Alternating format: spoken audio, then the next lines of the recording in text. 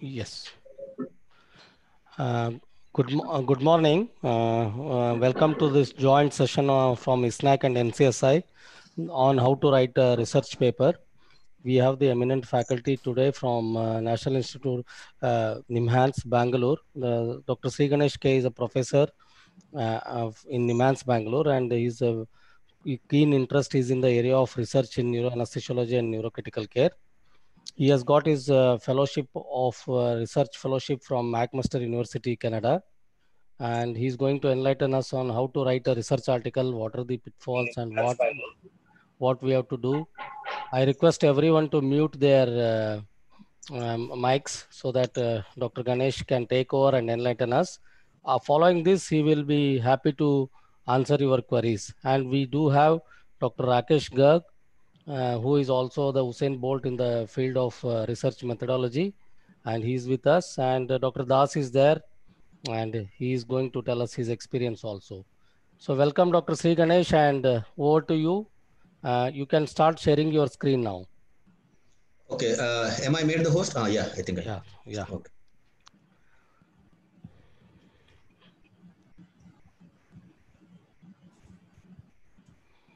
Yes, we are able to see your screen. Okay, uh, so shall I start? Yes, please. All yours. Okay. Yeah. Okay, uh, I, I, I can see still see some uh, people uh, being uh, needed to be admitted. Uh, Okay, you can admit them and we'll see. Yeah. okay, Yeah. okay, fine, fine. Um, good morning, everyone. Uh, at the outset, let me take this opportunity to thank uh, Prasanna and uh, Team ISNACC uh, for this opportunity. This uh, presentation is basically um, for the young faculty, um, residents, trainees who are interested in research, uh, because uh, I'll be just mainly sharing my experience and uh, uh, the resources that are available for uh, conducting good research and reporting it in a, uh systematic way and with maximum information. With this caveat, I'll begin my presentation. Uh, this is a broad outline of what I'm going to cover. Uh, the need for uh, writing a research paper, the steps uh, involved, including individual components of a research paper, uh, what are the reporting guidelines that are available which can help you in uh, formulating your research paper, and some information on what constitutes plagiarism, uh, once your research paper is ready for uh, submission, then how do you go about uh, selecting the journal? What is the process involved? And finally, um, some tips and suggestions on how to improve the uh, quality of your research uh, paper. Okay, I- I think this is obstructing me, the C waiting room and admitting. Okay. Fine. So um, the purpose, as I mentioned, is uh, basically you have done the hard work of conducting a research, uh, maybe over a period of one year or three years, and then that needs to be translated into some um, reasonable output. Most common uh, output channels are a presentation in a conference and uh, publication in a peer-reviewed scientific journal. Uh, the second uh, reason uh, of writing a research paper is uh, because of the ethical mandate that you are required to uh, share the findings of the researcher. Uh, most um, patients or volunteers that uh, uh, participate in your research uh, at the time of taking the consent, you would have informed them that uh, the, you're conducting this research for the purpose of uh, identifying or finding new knowledge and which will be beneficial for future patients. So ethically, you're bound to share the findings, uh, even if it is negative, with the larger audience. Uh, that helps in enhancing our understanding of the subject, uh, improving our knowledge, and finally, um, either to continue uh, further research in that area or not. Uh, third uh, benefit of writing research paper is recognition uh, amongst your peers, colleagues from other specialities, then your family, your standing will improve. And these are some of the reasons why you need to write a research paper. But among the academic uh, um, uh, um, persons who are involved in teaching, uh, one of the requirement for career progression is having uh, uh, done a good amount of research work and um, published them. But the most important is to improve the scientific knowledge, to add to the existing knowledge and to find new um, findings, report your research work to the larger community. So it impacts everyone, all the stakeholders, such as clinicians, where they can use the newly gained knowledge and apply them into the clinical practice. For the researchers, they can um, replicate the findings in their own settings, include the findings of your study in a systematic review, and the, your findings may also help in um, uh, framing of the guidelines uh, for the larger good. Uh, for the policymakers, uh, it helps in uh, uh making uh, the decisions uh, such as wearing the helmet, whether it is helpful or not in preventing traumatic brain injury. Funding agencies, apart from the research proposal, they also look at your prior research experience and publication record to grant, award grants for your research work. Uh, similarly, ethics committee and scientific committee also uh, look at your prior experience, uh, whether you are able to uh, ethically conduct research, uh, whether you have um, done some work in the particular area. Uh, and lastly, but not the least, it is for the improving of awareness and education of the patient and public at large. They also look at the research, especially when it is written in a simple, easy to understand language. so before beginning to write, you need to know some things um, of research. So the first important thing is uh, the research question itself. It has to be relevant, it has to be important. Uh, then second and most important is a well-conducted research without any scientific misconduct. So if uh, uh, well-conducted research is done, half of your uh, work is already completed and you just need to um, write the um, findings of your research. it is, there is also a prerequisite such as scientific assessment, uh, ethical committee uh, approval, uh, registration with the trial registry. These have to be fulfilled before you start writing a research paper. if you are presented in a conference or a meeting, the feedback or the comments from the judges or from other researchers will help you in improving the quality of your research work if you have missed out on some small details it's most important that you go through the uh, author instructions uh, for the respective journals where you intend to uh, send your research work. And there are also some reporting guidelines available, which I'll be discussing later on, uh, which will help you in ensuring that uh, the research paper is complete, it is uh, appropriate, and it fulfills the requirement of what the readers expect from you. attending tutorials, workshop, um, seeking guidance from seniors who are experienced in conducting research and publications will definitely help in improving the quality of the research work that you uh, complete. So as I mentioned here, the first step or the foundation of good research and communication of the research to a wider community is having a good research question. The FINER approach that is feasible, interesting, novel, ethical, and relevant. Uh, uh, these points should be considered when you frame a research question. Uh, most often what happens is uh, uh, the thesis especially, uh, it is to be done in a time frame, this one year or a three year period. And uh, therefore, uh, if your sample size requirement is say 400 or 500, and at the end of um, your uh, academic training, you're not able to recruit enough number of patients, the study is likely to not be successfully accepted and likely to die a natural death. And that is one of the reasons why most of the research work does not translate into publications. Uh, second, it should be relevant and it should be novel. Uh, if you send anything on COVID now, the chances of getting accepted are very high as compared to any other topic because the journal have limited space and they are looking for new information relevant to the current situation and therefore these um, uh, research areas are likely to be accepted by the journals uh, in current scenarios. Uh, if you have already uh, written a good research proposal, more so if you have published a research protocol, that makes uh, the final uh, paper, that is the research findings paper, more easier because the introduction methods part is already described in detail. So you need to add on to that with the results and the discussion portion. So this is a broad skeleton of what constitutes um, a research uh, paper, what you need to write uh, under the following headings, title, abstract and keywords, introduction, methods, results, discussion and conclusion, references, and then relevant tables and figures. And if there are more tables and figures, then you need to have supplementary files. So the writing process involves uh, the following. Uh, the first draft is generally written by the lead author, lead investigator, uh, who is well versed with the conduct of the research. And then he shares the document with his co-authors who are part of the project. They give valuable inputs in improving the quality of research, including a statistician. And then the final draft has to be approved by all the authors before you submit. Uh, the corresponding author or the principal author has also to see that uh, the format is appropriate, the checklist is um, fulfilled, the word counts are within the reasonable uh, allowable limits.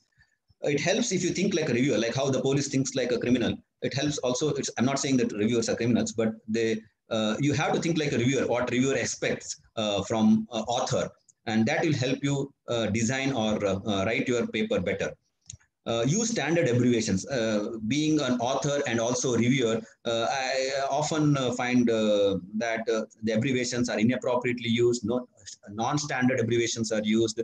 the abbreviations are used without first expanding the, um, the word as such. So these are some of the things that you can avoid, which puts off the reviewers. Avoid technical jargons. use simple sentences. Keep them short rather than long sentences. Uh, remember, um, uh, English is not uh, the um, the native language for many of us. Uh, we think in our native language, local language, and write in uh, English uh, for wider dissemination. sometimes, though language is um, not so important, but if the reviewer and editor is not able to appreciate what you have written, it becomes difficult for them to complete the peer review work. Uh, but yes, of course, the language is only a medium of conveying the quality work that you have done. And it is not uh, just because of the language that uh, um, the paper gets rejected.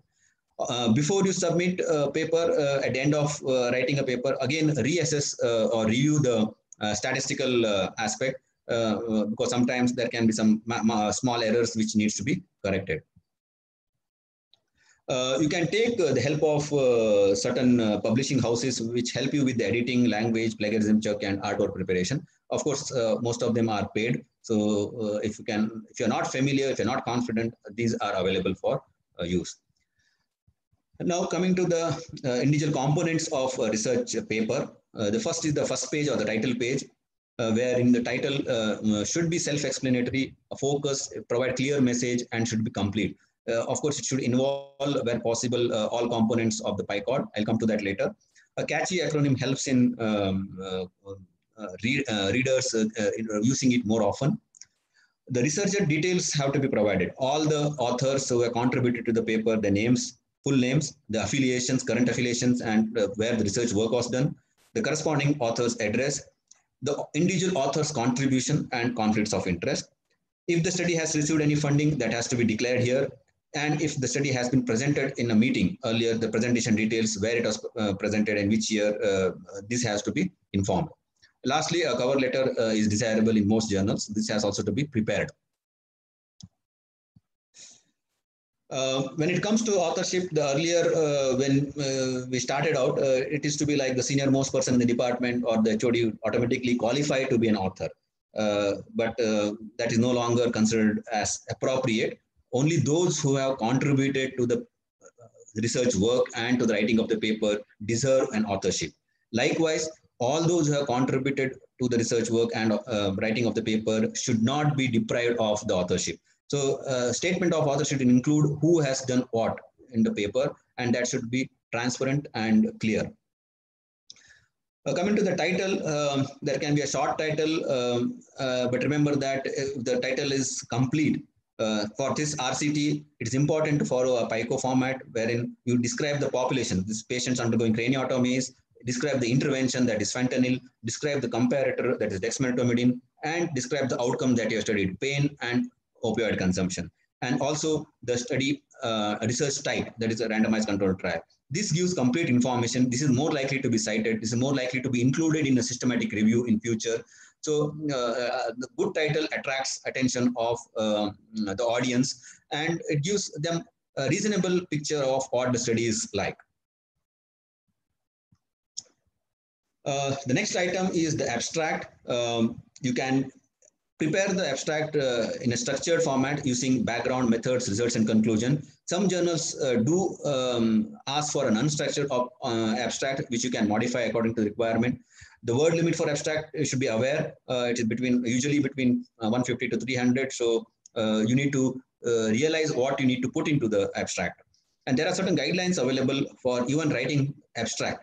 uh, such as for, uh, for writing abstract of a randomized control trial, you have uh, this guideline available, which you can use to make your abstract more informative and complete.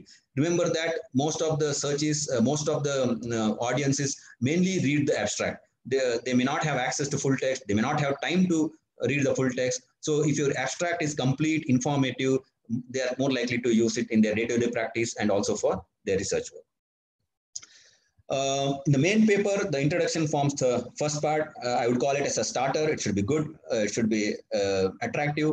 Uh, and the components uh, include a background or a problem statement, which informs what is already known.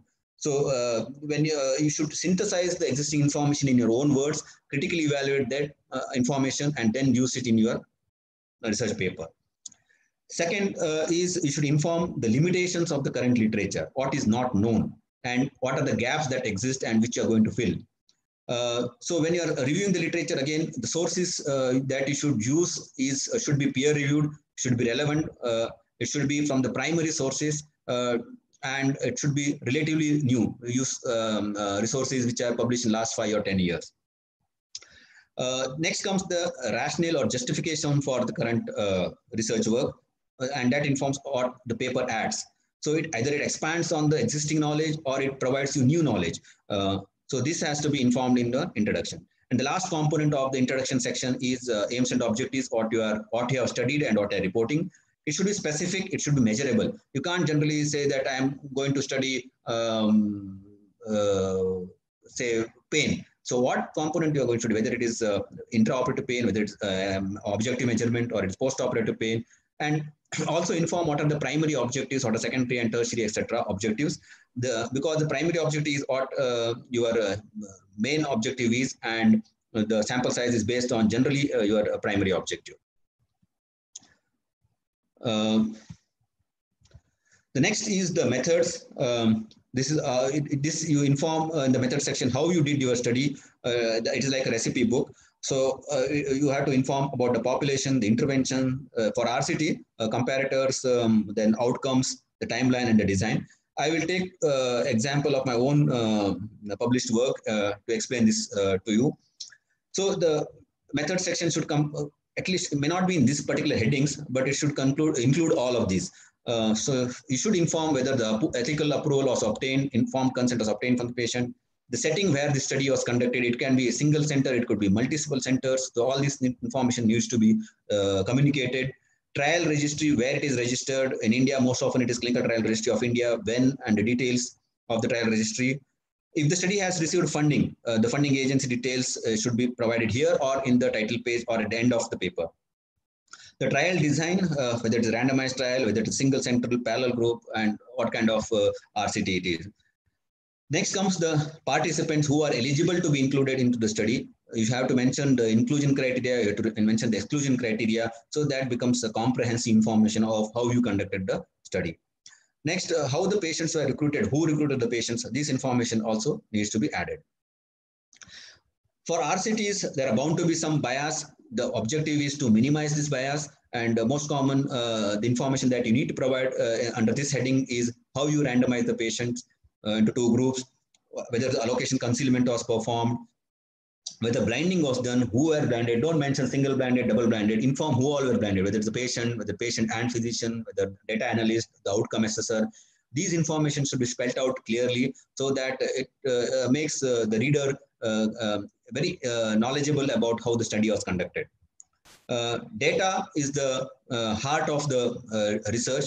Uh, you have to inform very clearly who has collected data, when the data was collected, at what time points, how the data was managed, uh, how the data was analyzed, and of course, for future reference, how the data was preserved and how long you preserve the data. Uh, coming to the study interventions in RCTs, again, uh, the intervention and the comparator, the dose, uh, when it was administered, how long and when it ended, and then, of course, um, uh, for anesthesia related studies, uh, how the standard anesthesia was performed, a brief um, uh, information about uh, the standard anesthesia in both the groups would be uh, required. Uh, the next is regarding the management and definition. Sometimes uh, the definition that you use in your research may be different. Hypotension, for example, some of them use 20% below the baseline, some use 30% below the baseline. What you used in your study, that has to be communicated clearly. And so these definitions, for example, shivering, is that did you use any grade or it was just uh, subjective? Uh, for pain, uh, what scoring system was used, whether it is NRS or whether it was VAS, etc. And lastly, the outcomes that you have studied. Could, like I mentioned, there are primary outcomes, there are secondary outcomes. How did you measure them? At what time points? Who assessed the outcomes? All these details should be uh, provided in your research paper. Um, another component of uh, the method section is the, the sample size. You have to inform whether the sample size was based on your own pilot study which you conducted before the start of the uh, main study or it was based on the previous studies and uh, the, what was the effect size and how did you arrive at a particular number? Did you account for any potential dropout? Uh, so this information needs to be provided in the uh, sample size heading. Uh, next is uh, the statistical analysis. So this again uh, is basically predetermined before the start of study itself with the help of a statistician and documented in your research proposal, like how we are going to do the statistical analysis. Um, if um, uh, second step is to recheck the raw data. Sometimes what happens is instead of 10, you would have written 100 in the Excel sheet, which can completely distort uh, the results. And therefore, uh, whenever there is suspicion, you have to go back and look at the raw data, see if there are any outliers which have resulted in uh, wrong results. And uh, it's good uh, to test this before you subject it for a peer review or send it for a publication. Inform the distribution of the data, whether it's normally distributed or not Use appropriate uh, tools for statistical analysis. You may take the help of an experienced statistician if you're not familiar with this. Uh, the significance of uh, the study, uh, the, the, threshold for significance, the precision of uh, the results that you inform, and the software that you use for performing the statistical analysis. So again, I'll uh, give my own example how we reported this um, statistical analysis part. So here you see that there is a mm, uh, how the data is tabulated, what software you have used, uh, whether you have tested normality for distribution of the data and using what test, how were the single variables analyzed, uh, how were the quantitative variables for normally and not normally distributed data were analyzed. For qualitative data, again, between the groups, within the groups, how they were analyzed, and what was the significant threshold? It could be 0.05, it could be 0.01. Uh, so what are the significant threshold that you had used in your study? All these details uh, should be informed in the statistical analysis. The next section is about the results. Um, uh, your well-analyzed data, uh, somebody gives you the data results in the tables, uh, you can just start writing the results section. Uh, it's very easy.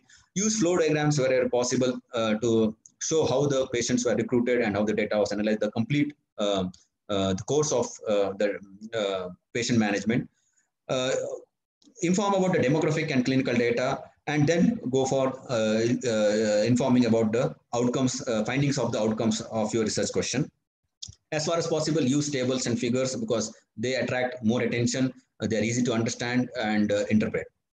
So this is again a flow diagram that was used in one of our study. Uh, it informs you how the patients were screened, uh, how they were enrolled, how many were allocated to each intervention group, um, what was the follow-up, uh, if there were any loss for follow-up, and how many patients finally were analyzed.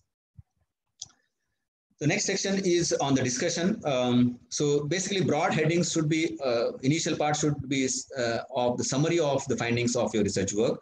Uh, again, it should not be complete repetition of what is there in the result section, but brief summary of what you found Next, compare uh, your findings with that of the published literature, whether they are in agreement, whether there is they are a disagreement with the earlier um, published uh, uh, findings, and if so, what are the reasons for the differences between your uh, study and uh, uh, the, the, published um, studies.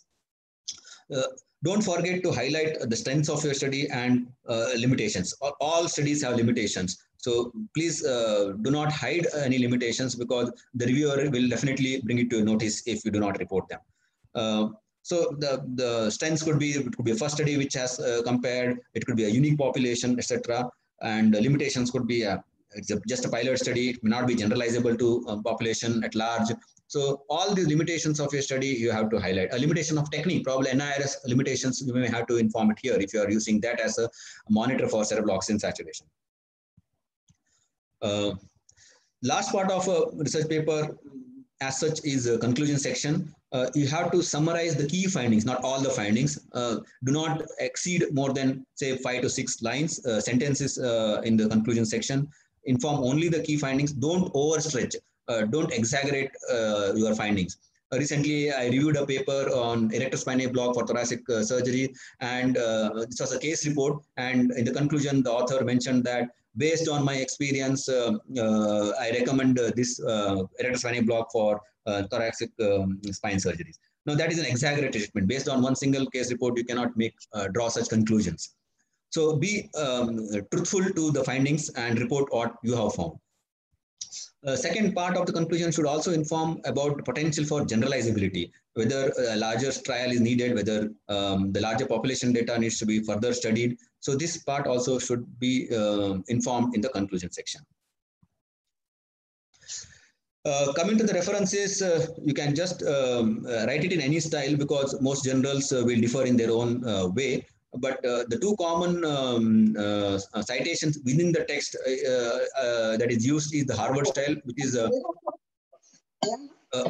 uh, which is the author and uh, uh, year pattern, and Vancouver style, which is more commonly used, where you number the references within the text. when you write a reference list, again, the styles are different. That is what is known as American Medical Association style, which is the first example then American Psychology or the APA um, um, style, uh, which is the second example, and there are several others like the Oxford uh, um, uh, style and uh, etc. Uh, remember that uh, the listing style is different for a journal, for a book, and for the web references. For the web references, you should inform when you access the data as well. But the broad elements of a reference remain the same. You have to list all the authors who have contributed in the full name or uh, with the surname first, uh, followed by initials, the titles, the journal name, the year of publication, volume, and page numbers. Uh, nowadays, it is more uh, um, uh, easy for uh, making the references or the reference list and citations because of the availability of software tools. we should uh, you should know what is the difference between a reference and a bibliography. Reference is what you cite in your paper, whereas bibliography is all that you have searched and read to come to the uh, research paper. So uh, what reference uh, management software do is uh, they help you in extracting the citation from various search engines like PubMed and uh, populate the local library, which you can use um, offline as well. And uh, the most uh, important aspect of reference management software uh, tools are ability to insert citations within the Microsoft Word document that you're using for writing a research paper. A second important aspect is it helps you in editing the output style as per the journal requires. Most often, the, the first journal that you submit your paper may not accept it. You need to modify um, the paper as per the requirement of the second journal, uh, which may not be similar to what the first journal wants as per as for the references. So uh, reference management software uh, such as EndNote, Mendeley, or Zotero can easily help you in uh, switching over from one reference style to the other. Remember, End, EndNote is a paid software, whereas Mendeley and Zotero are free versions. I have used EndNote and Mendeley, and both are very user-friendly. Uh, once you are done with the writing of the paper, uh, you move on to the um, uh, writing of the tables, uh, mostly your statistician will provide some of these. Otherwise, you have to uh, make your own tables. See that they are self-explanatory. They contain all the information uh, uh, that is required to understand and interpret a table without having to go into the text again. It, again, remember not to duplicate the um, uh, writing in the text with that in the tables avoid too many columns and too many rows, uh, preferably not more than six columns and preferably not more than say 10 or 15 or maximum 20 uh, rows. Uh, if you need to give more rows or columns, then preferably uh, you have to use uh, it as a supplementary file uh, um, for the journal. Know how many tables and figures are permitted by the journal. Usually it is about six to eight. So you need to convert some tables into figures or vice versa name the tables consequently as they appear in the text, provide a brief title, explain some of the abbreviations in the footnote, with, especially with the symbols for uh, the significance. Uh, okay, if you are using uh, some of, yeah. you meet uh, mute some person is talking continuously. Hello, please uh, mute yourself, please. What frequency? okay. yeah. Somebody is continuously talking there and, Uh, and okay. disturbing the others. कितना मतलब रखा है No. वो Mm. सब जैसे हमारे यहाँ official उसकी साइन की जरूरत पड़ती है हमको बताओ बताता सब है Hello, please mute yourself. करो। You you mute all, Sri Ganesh, you mute all and yeah, then yeah, yeah, yeah, yeah. I'm trying. that and one. then uh, yeah. I think they have stopped. Okay. Yeah, I'll continue. yeah, please. Um, so uh, this is how a table uh, should ideally look like. May not be uh, um, perfect, but uh, the information should... I think you mute them. Uh, somebody is there. Yeah, but okay. No, just you can go back. Yeah, stop sharing the screen. Doctor Sudha Jain is there. Incoming. Yeah. Just, just mute them. You go Dr. to Sudhajan, it's Dr. Sudhajan who can, Sudhajan. Dr. Sudhajan, can you please unmute, uh, mute your mic, please? It's causing a lot of disturbance. Dr. Sudhajan, please. Okay. yeah. Okay. I think. No, you are not muted. Okay, you share your screen and uh, continue. Sorry Okay. for that. Yeah. No, no problem.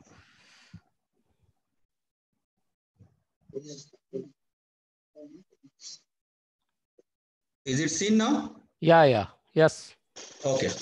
So uh, the first table should be generally uh, have demographic information. Uh, and some of the components that I want to highlight here is, uh, oh, sorry, some people are-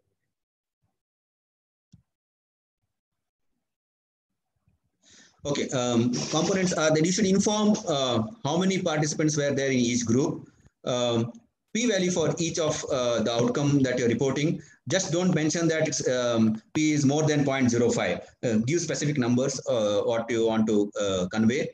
Uh, inform um, uh, the what uh, values were used, what units were used in the variables, and also um, whether it's a mean and standard deviation or interquartile. These have to be informed in the as a footnote, and also expand if there are any abbreviations that are used. The second table uh, should uh, generally inform your primary outcomes. In this case, it was the pain and um, opioid consumption. So they both have been uh, um, informed in this particular table. And the third table should include any other outcomes that is possible to represent in a tabular format. So that, that is what is uh, seen here. Uh, mm, basically, it is uh, any adverse effects or things like that. The next is the um, figures. Again, um, if you are taking any figure from uh, um, a copyrighted version, you need to take uh, permission from um, the primary source. Uh, generally, it is the publisher, or if it is an open access source, then from the authors. And due credit has to be given. Um, this is one of the form of plagiarism. Uh, then quality check. Uh, uh, most of the journals uh, see, seek that the quality check is performed by the authors before submission. And generally, it should be at least uh, 300 DPI quality. And ensure that you don't duplicate the tables uh, and the figures or the content in the text such, uh, so that you can avoid um, duplication. Uh, the labels, numbers, and symbols should be clear, legible with the contrast background. Identify whether the journal uh, permits uh, free uh, publication of the color images, or if not, then you may have to convert them to black and white images. Provide a legend, but legend should not be inserted within the figure. It should be a separate. And uh, the figure should be most often self-explanatory. Unwanted uh, areas should be trimmed check for the format. So most journals uh, expect that the, uh, the format of the image that is submitted is in JPEG or in the TIFF format. Uh, size uh, limitations are there. Sometimes it is up to 2 MB, sometimes it's up to 10 MB. So know these before you um, prepare your figures. So I'll give you an example of our own. Uh, so this is a figure which uh, of um, paper which we uh, published recently. You can see the components of this figure. There are um, two frames, so you label them as A and B. Then you have a y-axis which is depicted on a scale. Sometimes most uh, don't uh, people ignore to mention the scale. Uh, identify what is the depicted and units. What is the values in x-axis? What is the output that you are showing? And what does this color uh, indicate? um, they should be explained. And also in the footnote, uh, um, expand abbreviations, uh, inform what these um, um, bar diagrams are, what is this, uh, uh, whether they indicate uh, mean, whether they indicate the median, whether they indicate the ranges. All this information, if you look at the figure, you should get a complete picture rather than going to the text and understanding any of these aspects. Uh, sometimes uh, you may have more tables, figures, uh, and these needs to be uh, supplied in the digital format uh, as a supplementary material. Um, sometimes you would be using some scales like CAM scale for assessment of delirium, uh, which uh, general anesthesia audience may not be familiar with. Um, so you may have to cite them and also provide them as an appendix. Uh, also similarly, uh, questionnaires uh, of the survey, all the questions that you have asked, that can be provided as an appendix. Some journals uh, ask for raw data uh, when, uh, so this can be provided as a supplementary image. Similarly, uh, videos can often not be included in the main document. This has to be provided as a supplementary image.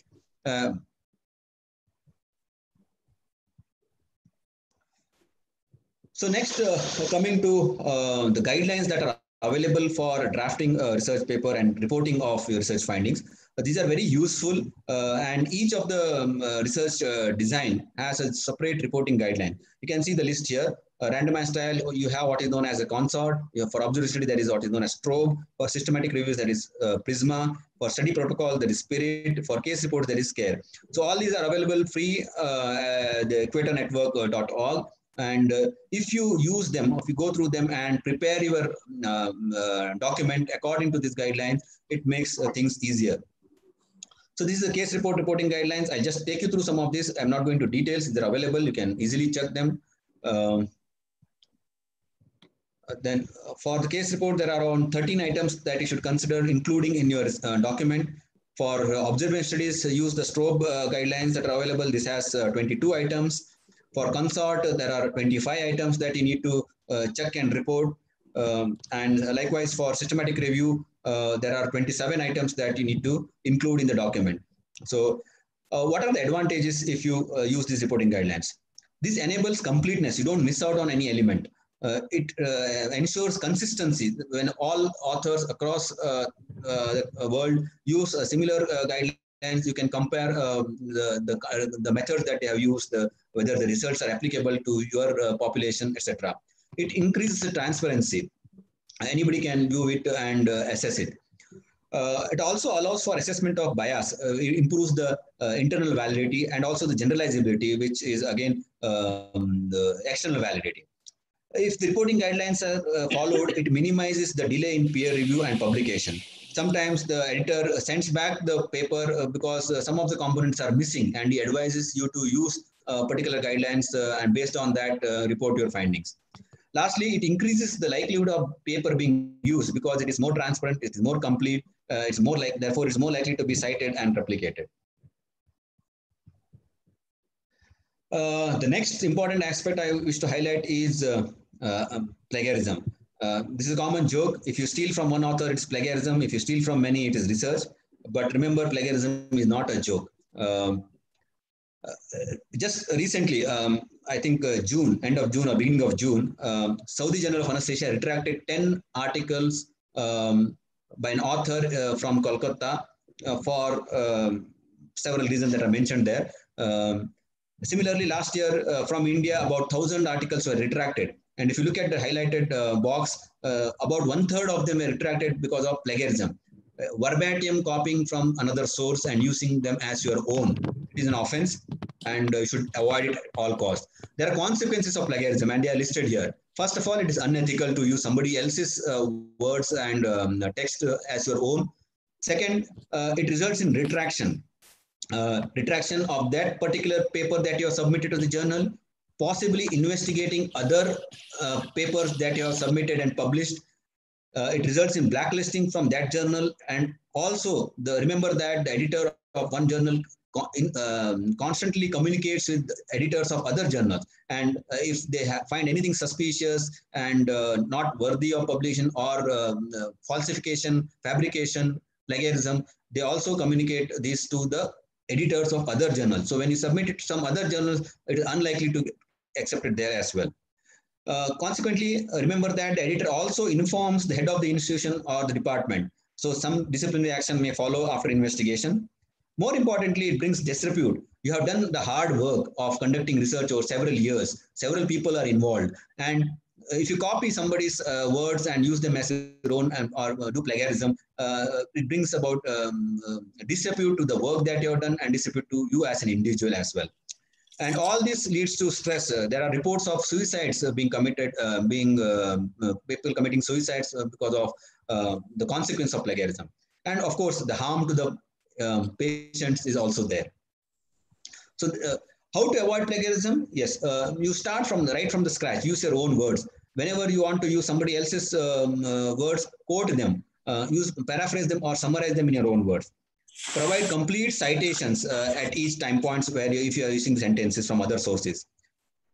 Use primary sources. Uh, suppose you are taking a quote from uh, review. Remember that the review would have taken it from some other primary source. So it's better to cite the primary source than the article as such it's important to know what constitutes plagiarism. Remember that using your own words from other paper is also plagiarism. It is called as self-plagiarism and should be also be avoided.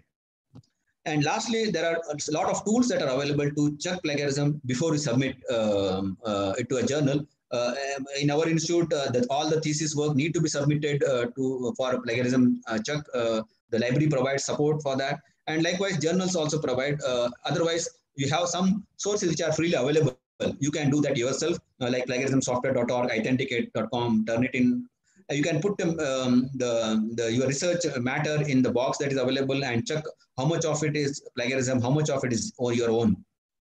So that way you know beforehand, before submission, and uh, the back and forth process from the um, uh, editorial board to the author can be minimized. So uh, next is how do you select a journal? You are done with the writing of research paper. It's important that you find an outlet for it to uh, be disseminated. One important is some publishing it in a reputed peer-reviewed journal. So, but when you are doing that, uh, see the scope of the journal. Suppose you are doing something related to cardiac monitoring in uh, spinal anesthesia, a neuroanesthesia journal may not be appropriate. Similarly, suitability of the article. Now, most journals don't accept case reports. So if you are planning to submit a case report, uh, you have to narrow down your search, identify um, a journal which accept case reports. Similarly, word limit. If you are having 1,500 words, you cannot obviously submit it as a correspondent. So know the suitability of the type of the article, suitability of the journal where you uh, submit, and then look at the journal process and feedback. Uh, some journals just reject your article, they give no reasons, uh, whereas some journals uh, reviewers give detailed uh, feedback, which you can use to improve the quality of the paper and submit it to some other journal. One of the important consideration when you submit to a journal is the cycle time. How much time the, uh, you get the um, result of your submission. So whether it is peer-reviewed decision and subsequent publication. All these factors should be taken into account when you plan to submit your research work to some journal. Another important uh, factor is the acceptance rate. Some journals have very low uh, acceptance rates, less than 10%. Some have very high acceptance rates, say more than 60, 70%. Uh, so uh, also needs to be factored in. Next is whether the journal is uh, indexed with uh, agencies such as Medline or PubMed and the impact factor of the journals. so if it is higher, you tend to submit it first, and get important feedback and then come down the order. Uh, or if you want to publish it fast, then you can go for a journal which has no impact factor, which may not be a PubMed index, where the acceptance rate likely to be higher. Uh, a uh, few words about the open access uh, journals. Uh, of course, they increase the readership because full text is available. Uh, anyone can access it. the copyright re is retained with the author. And of course, because the readership is wide, they are likely to be cited more. But there are downside of publishing in open access journals. Uh, most often uh, there are submission and article processing charges involved. Some journals may uh, offer waivers or give discounts for developing nations like India. But remember that most often the most open access journals are predatory in nature. So I'll come to that a little later. So this is my own example where uh, one of our study which we intended to publish in an international journal was rejected uh, simply because it was uh, they determined it to be more suitable for a regional journal because it was survey of only the Bangalore chapter of anesthesiologists. So this is a fair review. Uh, it may not be relevant for some in, uh, in the US. Uh, uh so likewise, uh, the, one of the reasons uh, for rejection is you are not determined suitability and scope of the journal and where to publish it. Uh, secondly, the acceptance rate, I have already mentioned, some journals have very low acceptance rate. So this also should be taken into account when you select which journal to publish. Some journals like this have good impact factor. The reputation of the journal is very high. And you can always uh, try to submit in good journals uh, with high impact factor first, and then start coming down once um, they are rejected at different places. Uh, um, predatory journals, it's important not to publish in these kind of journals. Most uh, of you who would have uh, published a few articles would definitely receive emails like this, uh, trying to um, attract you into submission. They may even offer you editorial board membership. Sometimes without your knowledge, you will be an editorial board member in some of these journals. So uh, please be very, uh, be very cautious of submitting in these journals. Uh, this uh, slide depicts the life cycle of a research paper. You conduct a research, uh, write the paper, choose appropriate journal, and then submit. Once it is submitted, then it is beyond your hands the editor assesses the suitability scope uh, relevance of your paper to that particular journal. If it is relevant he may send it for peer review. Otherwise he may send it back to you. Uh, following peer review process um, the decisions can be accept reject or revise. If it is asked uh, to be revised it may come back to you for revision. You may accept the suggestions of the reviewer and revise or you may reject and resubmit. Uh, again you have to be very cautious uh, when you revise your manuscript if you wish to uh, um, publish it. Uh, consider uh, reviewer suggestions as far as possible. they have no vested interest in your project. They give unbiased views most often and are generally fair. So uh, follow the guidelines, uh, follow the suggestions and revise the manuscript and then it increases chances of acceptance. If it is rejected, what happens? You submit it to some other journals, modify based on the suggestions of the reviewers, uh, find and identify journals which are more likely to accept um, otherwise, uh, again, it dies a natural death. So it stops here. If uh, the uh, article is accepted, it goes to the publisher, it undergoes copy editing, technical check, and then it comes to you for proofreading. you share it with your co-authors and take their inputs. If there are any changes, small changes, minor changes to be made, it can be made at this stage, and then finally it's just published. Remember, out of all the research work that is done in India, most of it, that is about 80 to 85% die a natural death. They don't even come to this stage, writing of a paper, for obvious reasons. Uh, so what happens after um, your research work is published? Now, this is also important to know. There are several uh, good things and bad things after, which happens after uh, paper is published. Uh, Prasanna is active on Twitter and uh, other social medias. So he will share this document. Uh, his followers, his um, friends, family, colleagues, um, professional colleagues can access uh, this article and it is widely disseminated. Sometimes uh, some of the articles can find an editorial in that particular journal. Um, so that is another advantage, dividend that you can obtain. Sometimes newspapers can publish if it is relevant for the public at large. So this was one of the paper that found um, uh, mention in uh, um, paper. But this is what you don't want. You don't want your paper to be retracted after all the hard work being published, all the processes that you had to undergo. Uh, so you don't want it to be uh, retracted. And one of the most common as a reason, as I mentioned, is uh, plagiarization. It is also, like I mentioned at the beginning, important to understand from the reviewer's perspective. Being an author and reviewer, I, uh, we have to think from both perspectives.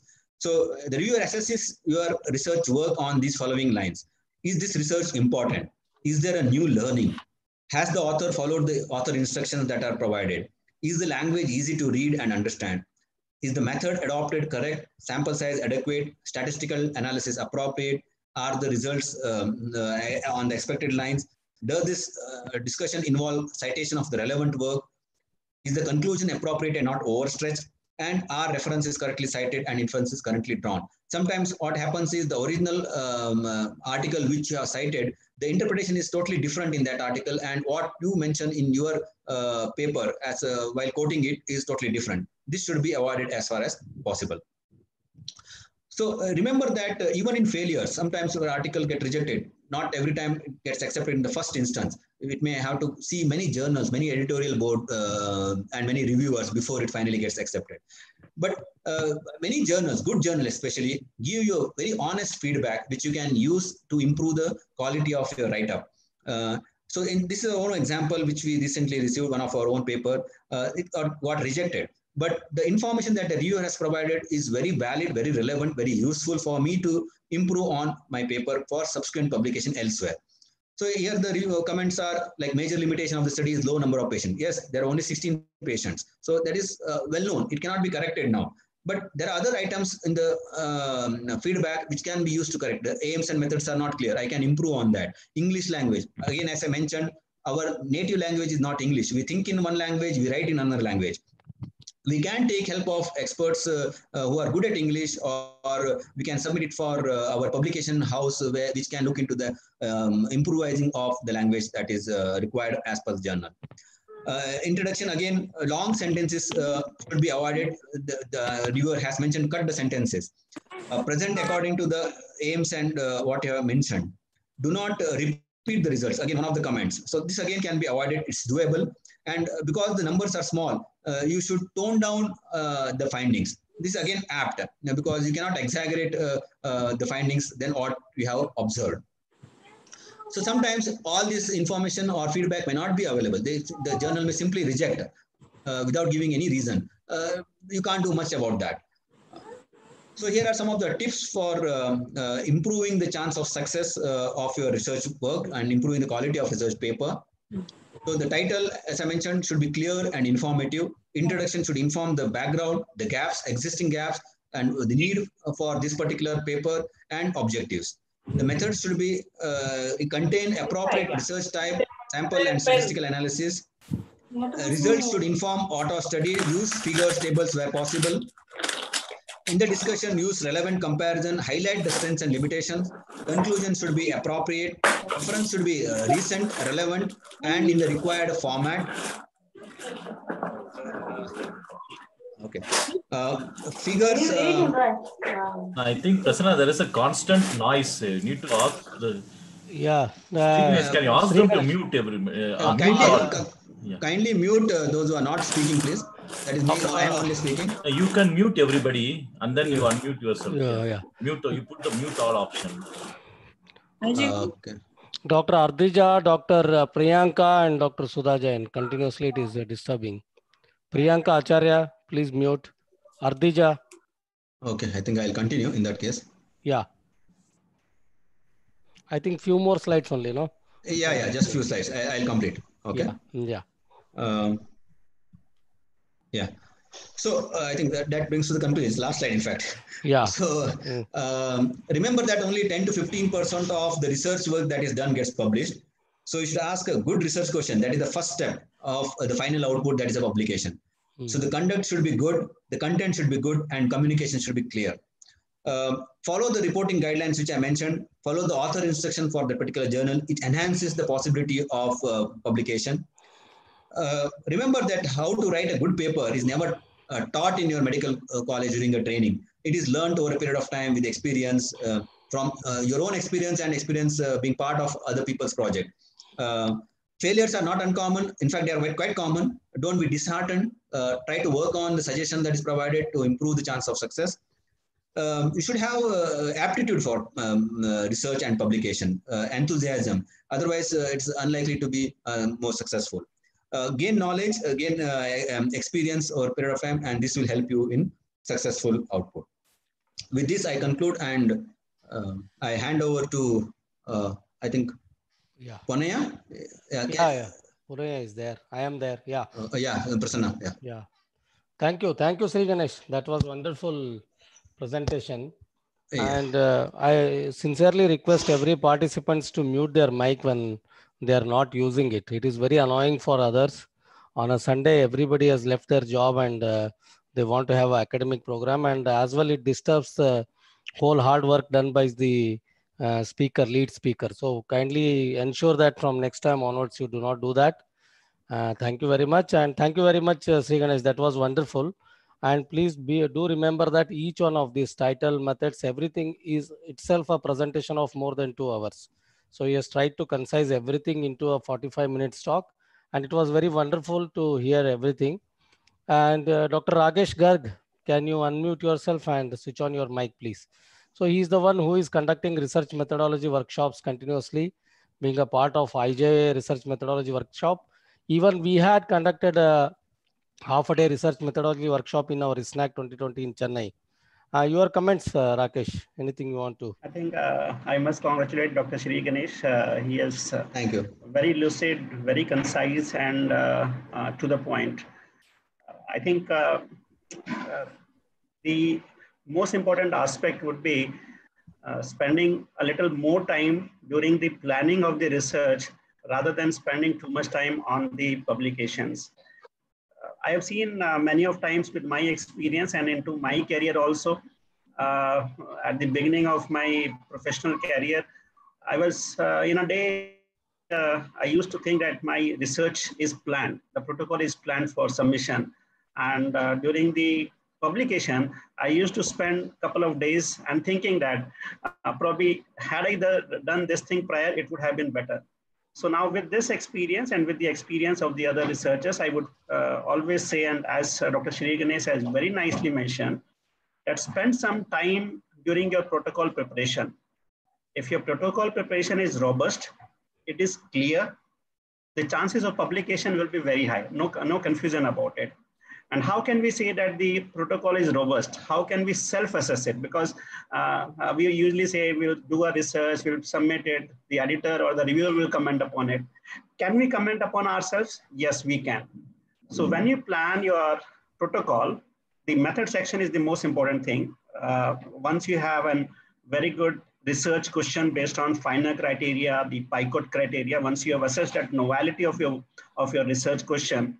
So when you just write your method section, give it to some of your colleague and ask them, can you replicate in the same way as I've written it? Or he find that, for example, say, I will mention a word that BP will be taken after induction of anesthesia. Now, BP will be taken after induction of anesthesia is a very vague term. BP will be taken in a supine position. It will be taken using a non-invasive blood pressure. It will be taken as a invasive blood pressure. A mean of three readings of blood pressure will be taken. The highest of uh, blood pressure readings will be taken. So this means that specificity, if you can think the way you have written your method is replicable by the third person, this means your method section is very robust and everything should be pre-planned. Once you have done it, the chances of acceptance of your uh, publication will be very high. I think this is uh, from my. Yeah. Uh, thank you. Thank you, Rakesh. That's what is the most important thing when you prepare the protocol. So as uh, you, we, and in the AIIMS, like we have this luxury of protocol presentation even before the research goes for ethical approval. So it is done at a department level. It is done as a scientific advisory committee level, then it goes for finally ethics and then goes for a CTI, CTRI. That's one of the advantage that we discuss the protocols more with everyone uh, before finalizing the uh, study. Yeah, thank you very much. Das sir. So the, the, that's where we learned our most of our research how to do it. Though we did MD from some other institute, there was not much of uh, scope for research. And but when I entered AIIMS, that's when I realized what is a good uh, ethical research and how to write it. Das sir, please your comments. Sir, आपको unmute करना है. Unmute नहीं है. Oh yes. Yeah, thank you. Okay. Yes, sir. Uh, I, think it, um, Sri Ganesh presented very well. Yes, I mean, he highlighted all the aspects of a good research paper. Congratulations to him and kudos to him. Uh, as regards the what uh, Dr. Rakesh also told and Dr. Sri Ganesh told,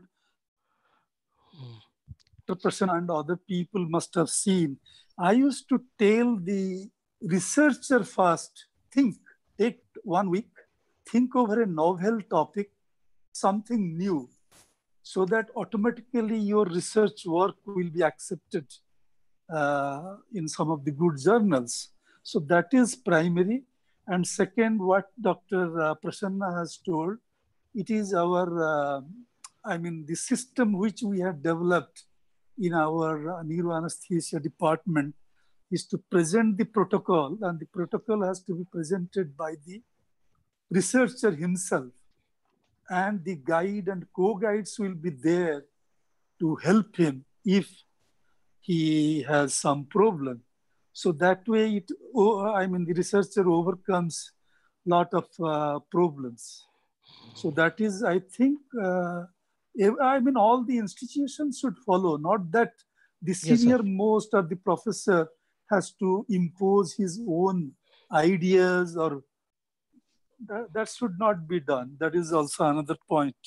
And the other thing, what he told about uh-huh. the why to carry out research, because I think the most, uh, I mean, another thing uh, in All India Institute, people used to discuss if somebody has got a good sanction, I mean, good research project from, uh, I mean, maybe from ICMR, from DST, or from DBT.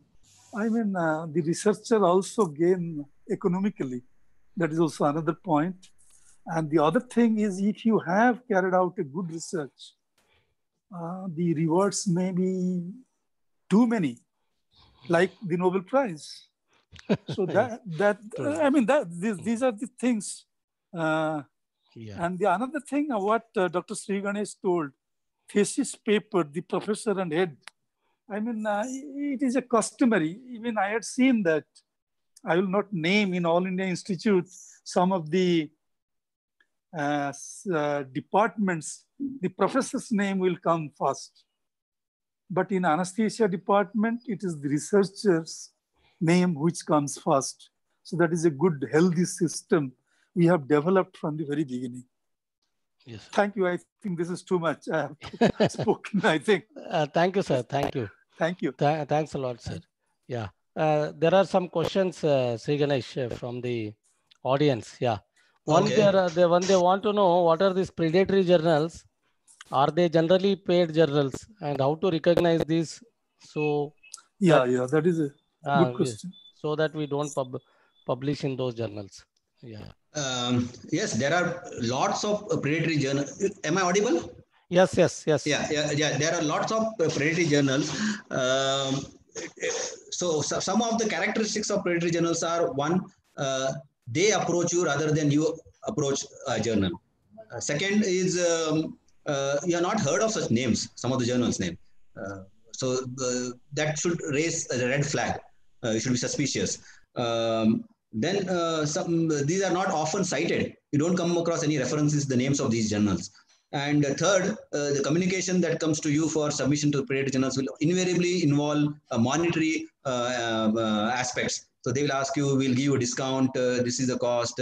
And uh, uh, I have often noted that um, many, I would not say many, few of them at least fall prey to this predatory journals because for whatever reasons, they need some publication quickly because predatory journals don't take undertake the process, uh, thorough process of peer review. You submit it today, uh, you might be surprised. By the time you wake up, it would have been accepted. So these these are all uh, the factors uh, that you should consider and or indicators of uh, the predatory nature of the journals. Yeah. See, this basis of this question, there is also that there is on a modified uh, uh, list of uh, predatory journals and acceptable journals from the UGC, MCI. from MCI yeah. for MCI recognized colleges there were some issues with that also. Some of the good journals were put into predatory and some of the predatory journals were put into good. I think uh, largely it has been modified now. So you can go to the site and check also which of these journals. But the, the paid journals can be even the pubmed index journals. It is not that yes, all yes. paid journals are predatory journals. Yes. okay it is uh, ultimately the processing charges because journal has to sustain on its own there may not be too much uh, money from advertisement and also they may charge it. So it depends. Even the newer journals and this when you want your article to be open access uh, in some of the journals you may have to pay some money. So that does not necessarily mean that it is a predatory journal. Yeah. So then anything uh, dr uh, dr rakesh or dr das wants to add on this? Because yeah uh, yeah. I think, uh, right because predatory journals are not suggested even. In fact uh, those authors, it is upcoming, it, it, will be coming in few years. Those authors who are frequently publishing their work in predatory journals will be blocked by the high impact factor journals subsequently because their data will be cached by them. So as an author, we should be cautious not to publish them because all are electronic and once they are published, uh, mm. it will be very tough to you know, retract your paper or withdraw your paper once they have been published in online media. Yeah. We have a site, uh, if you just type on Google the list of predatory journals, uh, mm-hmm. Cole's uh, list of predatory journals, you'll be able to see those journals in alphabetically sequenced. So it will be easy for you. And for a novice researcher, uh, just check when you open the website of the journal if it is associated with some national or international scientific professional body, the chances of its uh, uh, genuinity will be obviously much higher. And if you can Yeah. see, there are editorial board members along with the uh, ex officio members of the association, then it appears that is a society journal. And even the MCA accepts the society journals, even if they are not indexed, to be accepted as promotion in India. So in that sense, uh, we can uh, try to differentiate between our predatory journals and uh, Yeah. only a word of caution will be at times uh, we are in hurry to get our paper published. And that is what we are caught up in these predatory journals because they will publish within a week, sometimes within 24 hours also. So that uh, uh, restlessness among authors should not be there. We should be a little patient because any good journal will get a peer review from the reviewers. They will take some decision. So it will take some time. So we should, whenever we start some research, uh, we usually say a Gantt chart. I mean, your time frame should be prepared so that you accept that this paper is going to be published three years down the line, and you have patience for accepting uh, its publication in a good index journal. Yes. So that, that's what uh, that brings to this question itself. How good is it to link the career progression with the publication? Because that is where in the last 10 years, if you see, that's why India has become uh, country of disrepute for publications because of too many predatory journals have cropped up in India. And for with that, what has happened is the side effect of it is those journals which are associated with a good academic societies, they are also not able to get the indexing because of this issue. So how good is it to link the career progression with the publication? Dr. Prasanna, if uh, with your permission, uh, may I request uh, Dr. Sunila Sharma, who is a senior consultant from Delhi and she is a member of uh, many of such associations and she is also Yeah. concerned with legal matters. May I request uh, Dr. Sunila Sharma to comment upon this issue that how mandatory is its publication with regard to career progression because everybody may not have an interest, but he may be doing a wonderful academic and other clinical work for uh, his promotion. Uh, Ma'am, can I request you? Yeah, ma'am, you can unmute yourself. You have to unmute. Yeah. Please, welcome to the show. No, it is not yet done. Do I need to do anything? Yeah, please, please, can you? Uh, I have yeah, yeah, unmuted done, done, it. Yeah, done, done, yeah. Oh. Yeah. Yeah, in relation to the publications and all, I would say that yes, we look for reputed journals, and uh, you know sometimes it there is a lot of plagiarism because the same sentences as mentioned in your presentation also that uh, people tend to copy lines and lines of it, and those are the ones which get uh, not published. So you go, and there is internet uh, publishing also, and people are doing it, and then. Uh, so I would just say yes, as a beginner, you write what you know and uh, try to publish in the. You know, we started with Indian Journal of Anesthesia, so you know you slowly move on to the better ones, and you find yes, they get published if they're original. It's a different subject, not a common one, and plagiarism is very easy to detect because with the software. So that is my take on the publication. Okay. Yes, Rakesh, you want to comment? Yeah, I, I think I fully agree with ma'am. Uh, I think if you take the, uh, for any academic institute, if you take of, say, for example, AIIMS, there are trinity of mission, clinical academics uh, and research. Uh, absolutely what I'm going to say in next two, three lines is absolutely my personal perception. I'm not going to uh, represent somebody, but I feel that uh, each aspect is not the cup of tea for everybody. And uh, when a career progression is being looked after, maybe somebody is good at innovation. He has done some good innovative ideas. For example, uh, in the last ISA meet, uh, an MD student, a young faculty, has created some good robots or some good uh, innovations for to be used in a COVID center. I think for the career promotion, such type of things also needs to be considered for promotion. Some of the uh, faculty members may be very, very passionate for teaching and training everybody cannot ex- excel in everything. Somebody may be a very good teacher, uh, may not be a good clinician, but then we need to respect that he is creating a cohort of good students and good faculty later on. So we need to honor it. Somehow this needs to be put into some system somewhere so that uh, it's not the research, and the only research which should be considered, we say two publications for assistant professor, four for this. I think that fixed criteria may not be there for just career progression. It should be a holistic one. Holistic, I means if somebody has provides say 10 hours of uh, teaching every month to students, Mm. one publication or assisted in a publication as a co-investigator in the next two years, and he has seen or attended say uh, three hours of every day in his clinics or in the operation theater or in the ICU every day. I think such holistic criteria should be looked for pro- uh, career progression. This is my personal feeling. Uh, research uh, is not the everything, but on the other aspect, I would uh, put it the way also. The understanding of research is important for everybody. Now, uh, when we see this COVID-19, I think all the journals have a special issue. The whole media of publication, along with the so-called uh, uh, Google Baba and WhatsApp Baba today for the academic uh, knowledge uh, spreading up, we have a n number of publications and data from coming from various things. Are those data applicable to our clinical practice? Can we accept a data which is coming from Italy, from China, from Europe to Indian population?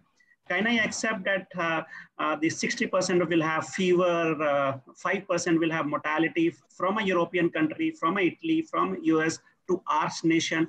So how can we, or in a simple word, how can we critically appraise a published paper is equally important?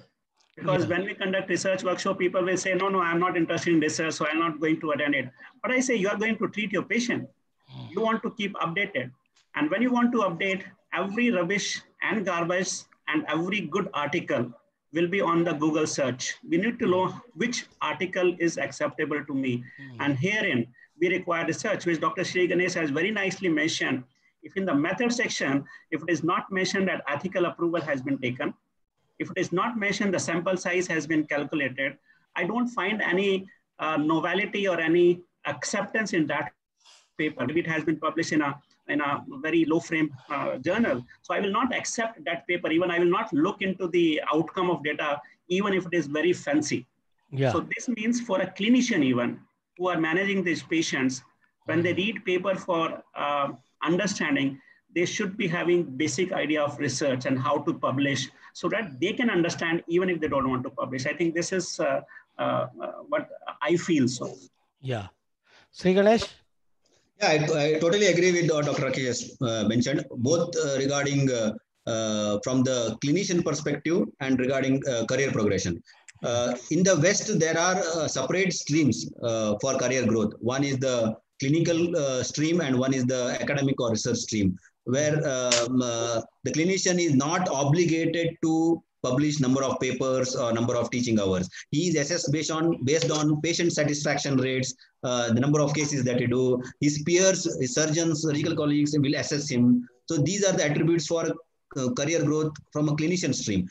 For uh, academic stream, of course, you need to have grants, you need to have teaching hours put in, Mm. student feedback becomes important, um, the number of publication become important. Unfortunately, in India, a doctor is uh, in a medical college is expected to wheel in the patient and also publish um, uh, papers in reputed journals. So he he considered himself as a master of all, and he's uh, asked or tasked with doing all of this clinical work, research work, academic work, and also administrative work. So uh, all of us are not equipped uh, to be best of all. We have Yeah. limitations. Not all will be a good clinician. Somebody may be an excellent clinician. He may not be a good researcher. He may not be interested also. So uh, I think the the leaders, the academicians, the policymakers uh, have to consider this aspect as well. This is regarding um, the career growth. And regarding importance of research, not just for researchers or in academic institute, even in corporate world, I think there are some incentives if you um, uh, are involved in research or publication. For clinicians, as Dr. Rakesh mentioned, uh, it is important to appraise the researcher. So if uh, you are not able to uh, appraise what evidence to use and apply in your population, uh, you may not treat your patients well. Hmm. So that's why you need to uh, know about some amount of uh, um, aspects of research and publication, even if you are a clinician as well. So these two points. are- Yeah. Uh, the only to argue from the other side, if I see that why it should be the mandatory for career progression, I think some of the excellent articles we are getting from India, though we say that uh, these predatory journals, but the way I am following the Indian research, particularly in the last 15 years, definitely the orientation has improved for the faculty, particularly those who are working in the academic setup and the people in the private have jumped in and they're doing a very good research. So if you see overall, the scenario is improving in India. Yeah, Sri Ganesh. Yeah, I totally agree with you. One of the reason why uh, I find this observation in last few years at least is Hmm. uh, mandatory uh, involvement of research methodology workshops in the postgraduate training. Yeah. Now, that has come in the last few years, and for even faculty, faculty also have to undergo some form of research Yeah. methodology training, and Yes. that has helped us. Our weakness was not the number of patients that we uh, manage or uh, the data that we have. It is how we communicate. We don't document properly. That is our deficiency. We don't need, know to communicate well. So I think with the training, uh, with opportunities, making it mandatory part of uh, PG curriculum and faculty growth, uh, it will help in overall improvement in uh, quality and thereby is improving the success rate as well. Yeah, so true, true. That's true. That's uh, that's one of the reason even uh, I have started publishing as because it is mandatory for career progression. Otherwise, I swear I would never have done that. So it's okay. So then one You are, a, you, are, you are a good teacher. yeah, yeah, true. That's true. So the next Echo with you, Dr. Srinivas. I just want to add, Dr. Prasanna, and Yeah. that's the reason uh, uh, now we have a special training program. Like uh, Yeah. Uh, when you were introducing Dr. Sri Ganesh, I was really amazed that uh, uh, somebody from India has been trained from McMaster. I think for all the participants, I must say that McMaster is one of the biggest, Yeah. uh, uh, uh, one of the best world-renowned uh, uh, training program which uh, people uh, learn from it. And similarly, uh, I did my research fellowship of two years from AIIMS. So this means people are coming, even CMC Vellore are conducting good programs, ICMR are conducting good Mm. programs. So there are a couple of good centers and people are now enthusiastic to uh, join those fellowship programs in research. Uh, Yeah. everybody earlier was thinking of fellowship in pain, uh, DM in neuroanesthesia, cardiac anesthesia, or onco anesthesia. But now Yeah. people are thinking of their careers into the research also. And Yes. the biggest gratification for a researcher would be a good grant and a publication in a Yeah. high impact factor journal. I think that's their earning. And Yeah. they're getting, as Dr. Prasanna you mentioned, uh, many of the good articles uh, of Indians are being published in an international journal. And that's why India represents a very solid platform for good research being provided from Indian continent. Yeah. For the Prasanna new- has published, Prasanna has published, uh, is a part of a Lancet publication, right? Lancet or JAMA. yeah, Lancet. That's Yeah, uh, so- yeah that that that's there is a question on that also i'll come to that later yeah that is a that, that's the overall perspective that uh, we need to start thinking in those lines at least from now onwards. And uh, the quality of publication what i'm seeing and the people who are new the McMaster university is the one where from where that evidence based medicine the term is originated. And is the same person who was the mentor for Sri Ganesh there in McMaster university where he did his research fellowship uh, Uh, one, one, thing before you go, Prasanna, I want Yeah. to uh, suggest uh, to the ISNACC as such is um, uh, to support, encourage uh, uh, multicentric study. The one of the Hmm. reason for uh, uh, international uh, reputed journals uh, not being in, so interested in Indian authors Hmm. and Indian publication is the data is small despite we claiming to do around 50,000 neurosurgeries every year. yeah But the sample that we produce when we write papers is 500 or 1000 maybe maximum. Mm. So I think there should be some mechanism uh, from the society to encourage link uh, different uh, hospitals, those who are interested in research, share Yeah. the data and uh, publish as a multicentric study. Yeah, this is why we have discussed it multiple times in the governing council meeting, and we are on that uh, uh, aspect now to improvise that. And similarly, just now, we I think we even the plagiarism software where a lot of questions have come, which is the most uh, this one uh, reliable plagiarism software because there are many softwares which are available free online, and when you check with compare with it, iThenticate it is entirely different and lot of good journals particularly the good impact factor journals they want from iThenticate the certificate from the iThenticate while uploading itself so how do you actually because as in the institute i have the access to iThenticate myself i have my own id so if any of you want to just check the plagiarism you can send you can mail me so that i can do that as long as the institution supports so uh, how do you say Sri Ganesh, which one to go for whether to iThenticate or the other one how do you do generally when you send your articles Uh, well, there are. I use uh, what is available freely. Okay. Um, uh, so it, basically, it is a preliminary check at your end. Uh, Yeah. First thing uh, is that you write your own paper. you don't outsource it to somebody or uh, you don't um, copy paste these basic elements if you follow they are more than likely not to uh, be involved in plagiarism up to 10 percent Mm. that is generally considered as a limit up to 10 percent um, uh, um, uh, plagiarism is accepted plagiarism in sense uh, use of words or sentences is accepted. Uh, anything more than that should raise the red flag. Uh, Yeah. any particular software i think anything is fine as long as you do the preliminary check. Of course the journal will also do from their end plagiarism check. They may use iThenticate or their own sources. Um, Yeah. so but from your end make your own sentences write your own paper. Uh, that way you can circumvent this problem of uh, i don't Yeah. i cannot re- recommend one particular software for this Yeah, I think this iThenticate or something we can subscribe from the society, society itself from ISNACC so that any researcher wants to check it, we can, he can mail to a secretariat and get it checked. That can be done. We will do Yeah, that. that is, uh, that is Yeah. a good uh, move uh, Yeah, yeah, yeah. Well That's, uh, I thought uh, we can do that. It's not, uh, it's a little bit costly, but uh, it should be manageable when it is taken as an individual. The other question is some CTRI, some issue is there for uh, one of the resident is asking, he has done his study in 2017. That time CTRI was not mandatory. Now how to go about it, how to publish it, because now it has become mandatory. That's it. Yeah, so in 2016, uh, uh, the uh, ICMR made it mandatory for all clinical trials, that is basically randomized control trials, to be prospectively registered with the CTRI. Yeah. So prior to that, they were even uh, registering the trials retrospectively. Uh, uh, I, I must admit, I have done a couple of them because uh, before that it was not mandatory. We were not uh, so, uh, so much uh, particular. Journals were not so much particular. Uh, But uh, since then, it has become mandatory, and uh, you have to do it for clinical trials. So, what to do for what is done in 2017? Well, uh, you can't do anything because they don't entertain retrospective registration now for Yeah. RCTs. Yeah. So uh, you have to try to sell it somewhere uh, in a, a journal which accepts without CTRI. Yeah.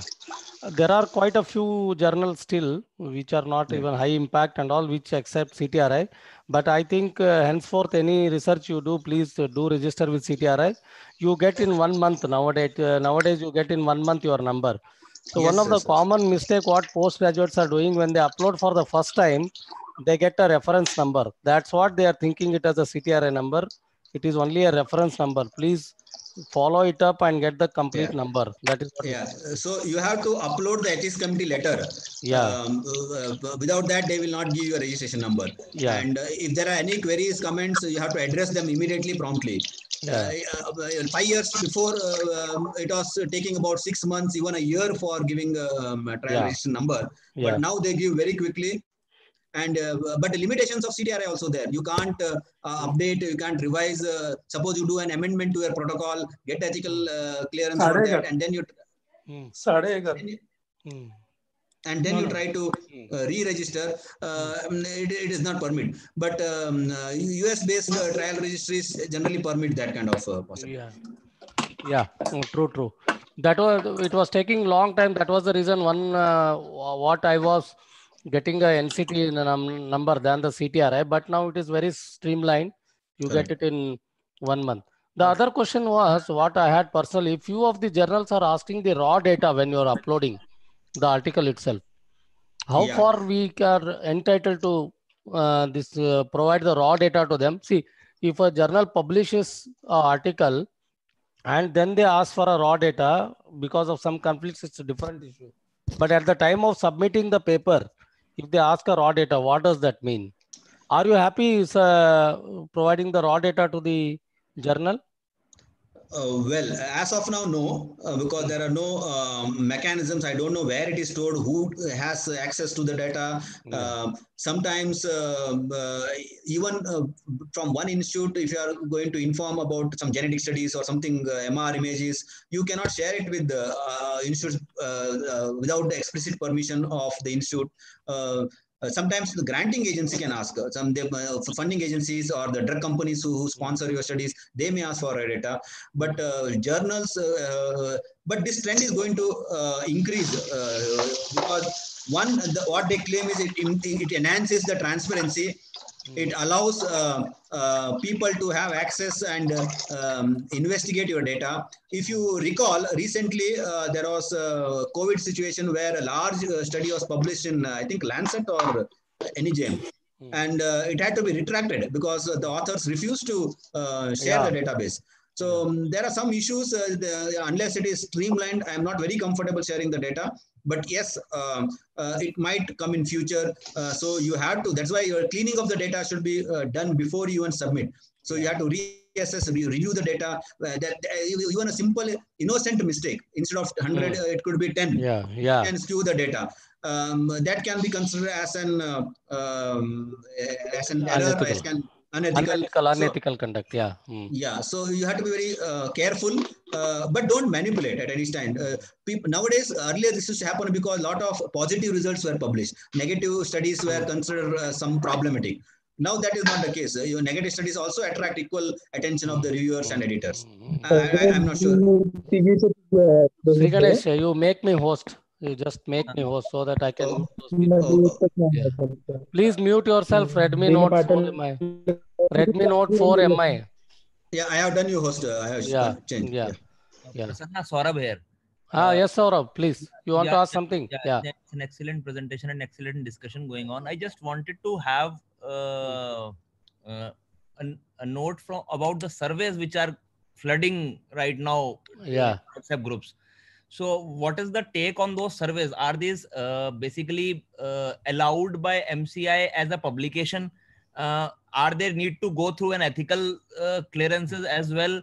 Are they need to be uh, have a number as well? Because it has been flooding the WhatsApp groups by now, and everyone Mm. now and then because they are not able to find patients to do their studies, they are conducting surveys to take it as a publication for uh, publication for them. So, what's the take of the house on that? Yeah. Sri Ganesh. Uh, yeah, surveys, uh, well conducted, definitely is a publication and that gives a cross sectional view of the population at that particular time point. Uh, very informative, very useful uh, uh, to know the perspective of uh, the practitioners. Uh, regarding ethics committee approval, uh, because it does not involve um, patient recruitment, uh, provided you inform in the survey itself that uh, the participation in the survey amounts to voluntary uh, consent and that you are likely to use this uh, uh, results of the survey for a subsequent publication, um, then it should be fine. Ethics uh, committee approval even give a waiver. It does not go to the full uh, um, review um, uh, from that perspective.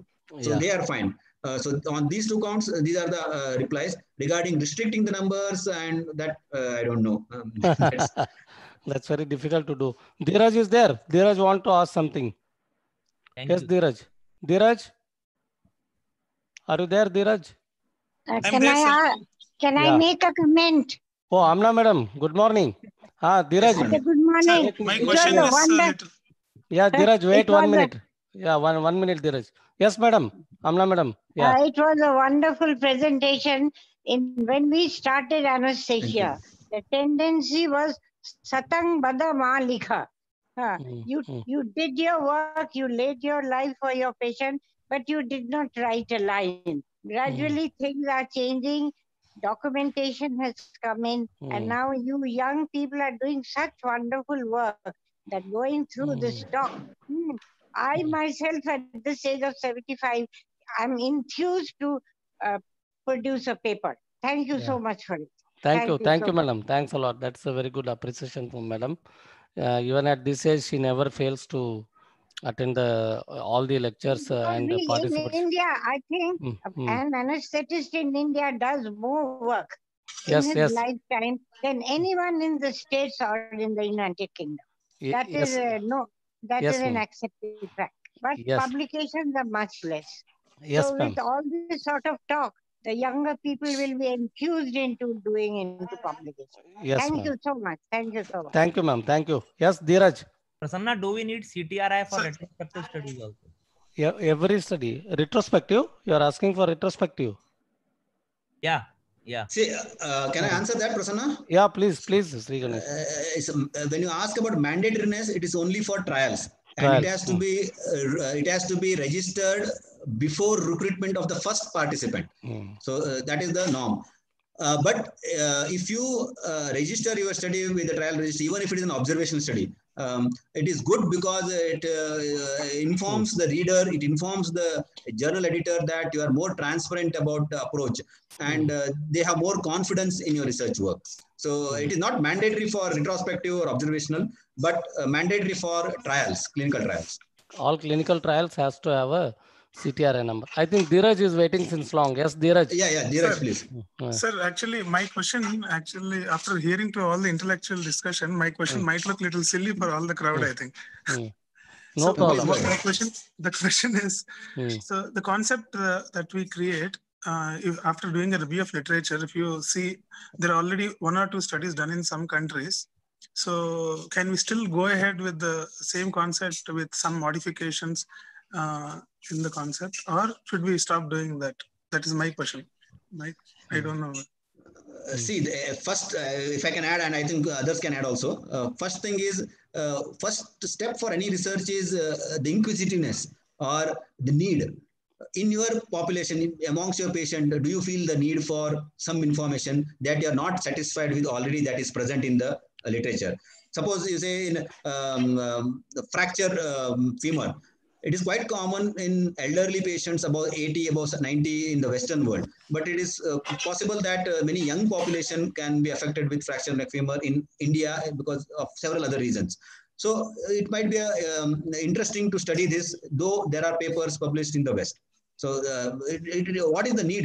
Whether you find that when you are caring for your patients is there a need for further uh, evidence that needs to be generated? Mm. based on that you have to take a call Yeah. Okay, uh, okay. and Dr. Ra- Dr. Rakesh, I think anything you can add or any others? Uh, you have rightly mentioned, uh, because we get a lot of uh, manuscript which says that the, the publication has been done in Western population, no Indian data is available. The only issue is, if you think that the primary outcome or the outcome that you are thinking of for whatever reasons, maybe the financial, cultural, geographical, or genetical, if you think they can influence the outcome from your country, from the population that you want to do, and if you can justify it, so you can say because of the genetic variation, the amount of pain for fracture femur would be more in India as compared to the Western population, or because of the osteopenia, which is more commoner in India, the chances of fracture healing and the pain would be much more in Indian population. If you can justify uh, this way, your obviously the novelty comes up and you can do a study. Just mentioning that the study is, has not been done from Indian population, and that's why we want to do it. This is not a justification. You have to Yeah. put it on some background. Okay, thank you, sir. Thank Thank you very much. Yeah, that's a very good uh, this one. And uh, regarding this multi-center trials, okay. So what I found was there is one writing group and there is one investigator group total. So who gets the authorship when you? Well, is it? the, I know Dr. every. Ra- Ra- Rakesh, Rakesh will be able to tell us more. So I'll be able to tell you, sir. Yeah. Right, the authorship is a very tricky uh, issues, and this is the issues for the hard one among the researchers, even in the department or across.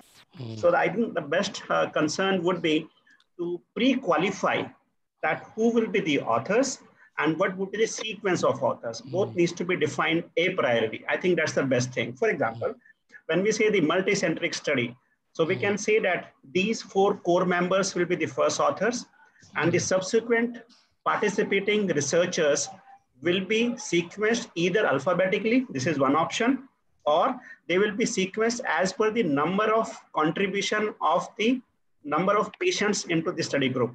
So this means the a priori decision of the author sequence and author name should be mentioned in the protocol itself. And that is always a transparent medium uh, uh, for, for uh, signing. When you sign the multicentric studies, the, uh, the forms uh, for the approvals in ethical committee, if that clarification is there, I think there will not be an, any issues of the uh, authorship. And for authorship, obviously, we uh, always mention the ICMJE criteria for who should be the authors Mm. for any of the publication. Uh, we should be avoiding um, host authorship or guest authorship to anybody.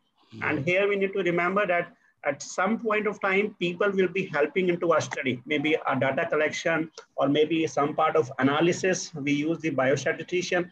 We should not also ignore their contribution into our research. If they amount their contribution to the authorship, we should mention it. There are four criteria for it. If they fulfill it, they should authorship. If they are not, we should be mentioning their names into the uh, into the into the acknowledgement section. So that is a very important thing. Uh, we should not be missing anybody's uh, acknowledgement into the uh, help that we receive for the authorship. Yeah. So is there any software which are being developed to, check the this one uh, tampering with the data? Is IJ something planning like that to? I think this is a I think confidential question, isn't it? Uh, yeah, some I- of the, I some think, of uh, the I- I- journals. I uh, think the editor should not reveal that because uh, the authors can always uh, try to find ways and circumvent. No, the, some think- of the journals which are asking this raw data, But I uh, think- suddenly in the last one year, what I feel is they must be developing uh, some software to See, check. there is there is not actually a software, sir. Hmm. The uh, uh, the thing is, uh, I think uh, the Microsoft Office has already provided that option into it. Hmm. So if you have a Microsoft Office, uh, the latest version, you can pick up that who has edited uh, this file at what point of time. Hmm. Right. For example, say uh, I say that I have entered into my Excel sheet the data every day, and then uh, uh, on one certain time, uh, say on X date, I just change the BP readings into it. So that change of data into that document can be seen easily. That can be seen by the Microsoft Office itself. So we know that selectively few data has been changed, right? And that clarification can be there. And people are asking for the data. There's an issue here, and that's why I think uh, there are certain registries, anonymous registries, which are officially happening across the world, where the authors are encouraged to submit their data once they follow a uniform protocol so that a pooled analysis can be done later. And that's an anonymous data. Yes, Yeah. I fully agree because uh, we are under the uh, obligation of maintaining the privacy of the patients. Individual data sharing is not a norm. The editors may ask it, but then you should be very clear that why they're asking for. They need to be have a clarification for it. Sometimes the editor are concerned about the the fuzzing of data or something. The fuzzing of data is is different from the anonymity and privacy of the data. So author should be clear that they are not going to share the data until unless they have taken permission from the ethics committee, right? They can be a third committee or third agency which can look for the data that nothing has been done wrong into it. Uh, editors, uh, does, if editor has some confidentiality clause that their data of individual patients will be kept uh, very confidential, they can share it. So it all depends upon the mutual agreement between the ethics committee, the authors, and the editors. Yeah. There is one question regarding this multi-center trial also, whether we need approval, one ethical approval, uh, you need approval from individual hospitals also. So I think uh, that is very clear that individual hospital which participates has to take the ethical approval from their institute also. Uh, citing the ethical approval from the other institute, you have to produce all the papers and ask for ethical approval in your institute because any patient which you are going to take into the trial has to get ethical approval in your institute. Yeah, that's right. Correct? Am I correct, Sri Ganesh? Yeah, yeah, but sometimes uh, some ethics committee may give you a waiver if the uh, Waiver, yeah. ethical approval is already taken, provided you cite that and uh, ask for a waiver. But if- ideally, yes, you should, uh, for your own patients, you should have an ethical. Yeah. I will add, uh, I just want to add something here, sir. yes, yes, yes. Sometimes we are worried about uh, our ethical approvals or CTRI registration, Hmm. but the ethical approvals are your safeguards. Yes. So this means for some chance, for by some mistake, we are missing some privacy or confidentiality or the breach of data, and we take an ethical approval. They will look from their angle. So I think ethical approval is not uh, a headache for authors, but I think it is a very good support platform for Yeah. guiding the authors to do a ethical research. Uh, So that's why we should not be worried. And that's why I feel sometimes that whatever work we do, uh, maybe RCT, maybe observational study, maybe even a retrospective study, it is Hmm. always good to take ethical approval so that we are not missing anything from the ethical point of view. Yeah.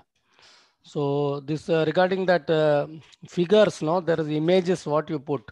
As Dr. Sri Ganesh has already mentioned, it should be a high quality one with a 300 DPI. That's what most of the journals uh, uh, expect. But sometimes what we do, we take a screenshot from the computer and we try to put it. Those things should be avoided. because they will not be a good quality images. So how to this uh, any particular advice is there, Sri Ganesh, on quality of images? How do you get or anything like that?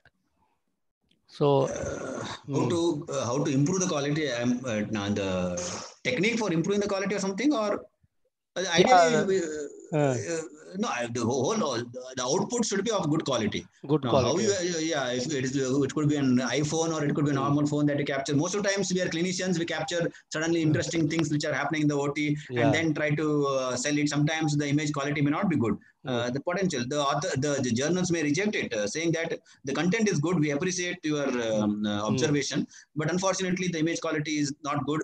Sometimes for simple things, they may ask convert it into a line diagram Yeah, if your image quality is not good. So Hmm. you may have to oblige uh, in such situation. yeah. But yeah. I, I I don't know of any software which can uh, improve the quality. no, no, no. Gen- generally, some is younger generation may be uh, able to do that or generally they ask you to convert into TIFF images. That's what the most of the Yeah, yeah. want. uh, The co- Yeah, that quality and pixels will be better. That is Better. what. Uh, yeah. that's true. So anybody wants to ask anything, questions can unmute themselves and ask. Yes, anybody is there? Before we close this session and any anybody wants to ask questions? So one one last question uh, from my side that what about this uh, blinded uh, reviewing, peer reviewing? Why there should be a author's name and uh, this one uh, that uh, why there should be a author name. For example, I got, I think from Sri Ganesh article only one to for peer reviewing from my side. His name was there. I promptly declined saying that I know the author personally very much and I may be biased in giving the review. So I do not want to review this paper. So I just uh, Okay. uh, refuse that. So why not all the journals across do the uh, this blinded reviewership? Like why? Uh, because, Okay. Uh, s- mm, mm, So uh, what happens is for uh, uh, uh, journals who do not know uh, the expertise of uh, area of expertise of the individuals, uh, they ask for uh, um, providing uh, the names of the reviewers and also those who you do not want as reviewers for Yeah. obvious reason. But both uh, blinded review and transparent review. So I, I would call it the two ways. So whenever uh, the author details are available for the peer reviewer, in that case, there is a potential for bias, either for or against. yeah. However, if the journal has a mechanism in place where they hmm. inform the readers who has reviewed this article, Yeah. there are some journals, like BMJ Open, for example, hmm. they Mm. inform who has reviewed. So the, the credit is given to the reviewer as well, and the authors know who has reviewed the article, and hmm. also the reviewers know who has uh, submitted the paper. That is a more transparent system. Yeah. However, some uh, journals do not entertain that kind of a setup because they want both uh, to be uh, anonymous. That is, the author should not know who has reviewed their paper, the reviewer should not know who the author is. So, um, which is better is very difficult to say if it is transparent. Uh, if both um, authors know who has reviewed their paper, if the reviewers know who has submitted the author, and readers know who has reviewed uh, the paper, uh, that is also good. But um, double blinded, that both author does not knowing uh, the reviewer and reviewer not knowing the author, also has worked well uh, so far. Uh, Yeah. Dr. uh, Dr. Rakesh, anything you want to add? And on I think perfectly said. Uh, both of the options are being used uh, in anesthesia and pain medicine, uh, blinded and the transparent one. I think both are okay uh, because when, say, for example, say I publish a paper and uh, when a reviewer reviews it and uh, he's he's knows that Rakesh is working in this field for a very long time.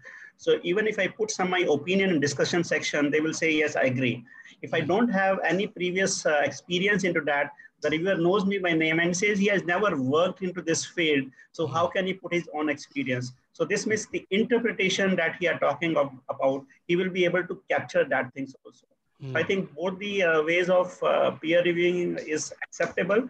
The condition is, uh, I think it becomes the responsibility of the reviewer to know how a paper is reviewed. I think uh, Dr. Prasanna uh, can conduct an, another uh, uh, webinar, how to review a paper, which is Yeah. very important because many of the times we get a reply, the paper is absolutely good, accepted. The other reply will be the paper is not at all good, just rejected. But Yeah. what are the reasons or the strength of a weak or weakness of a study? If a reviewer just mentioned it, whether it is blinded or whether it's transparent. So if they mention it, the editor will be able to take a appropriate decision that these are the reasons paper is being rejected, or these are the strengths the paper is being acceptable. So if that is clear, I think the, uh, the Yeah. work becomes uh, easy for editor to accept or reject the paper. Yeah, yeah. We, we may conduct one more class on that. Also, one plan what I have is to this uh, grant, how to write for a grants and how to apply for grants. Because that's where I think uh, if you see most of the grants, lot of uh, anesthesia proposals do not get a grant, whereas community based. So there must be something which we need to improve upon that.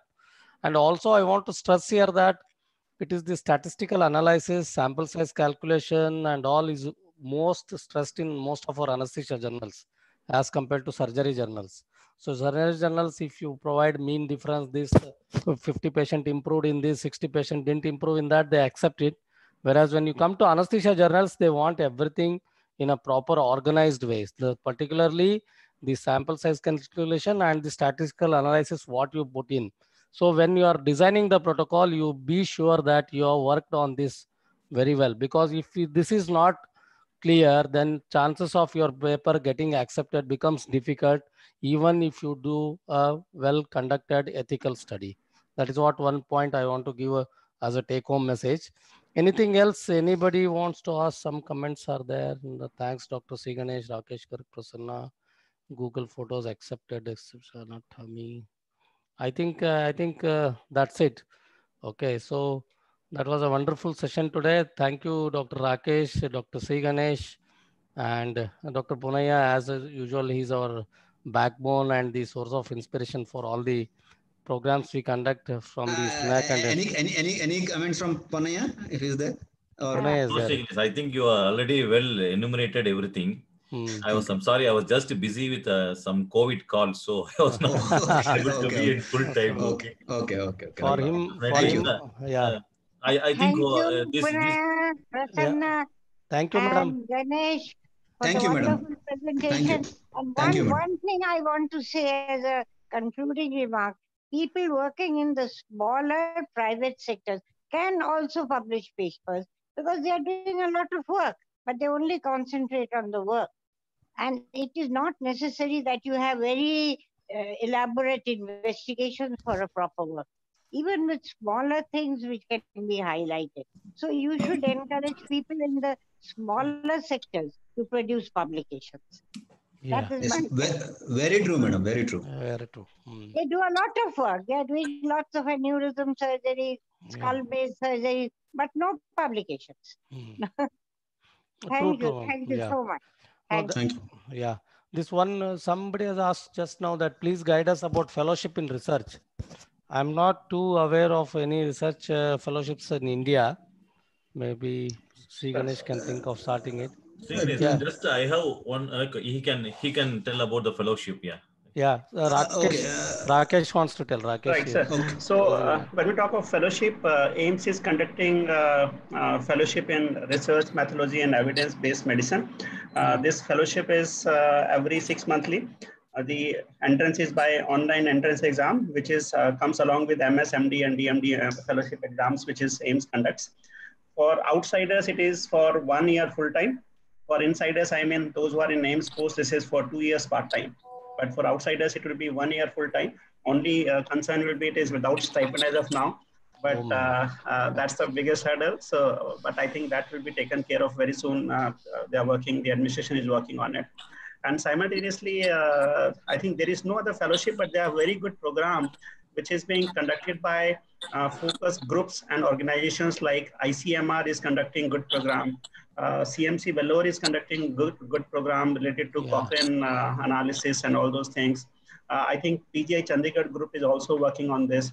And some of the professional societies like ISA is running a one-day basic program. Similarly, I'm aware that uh, similar good organizations are working on this. And nowadays, uh, with the MCI norms, various academic institutes are also conducting their three days or seven days uh, research program into this. So I think this is how the learning exposure is happening. And uh, with time, I hope uh, the other things will come up. And for outside India, I think Dr. Srinagesh, uh, Sri Ganesh will be a better person to tell. Yeah, I agree. Uh, so most of the medical colleges and hospitals are nowadays uh, conducting uh, workshops, uh, research methodology workshops on a routine basis. Uh, you can enroll uh, in them. It costs very little as a fees. some of them are very free.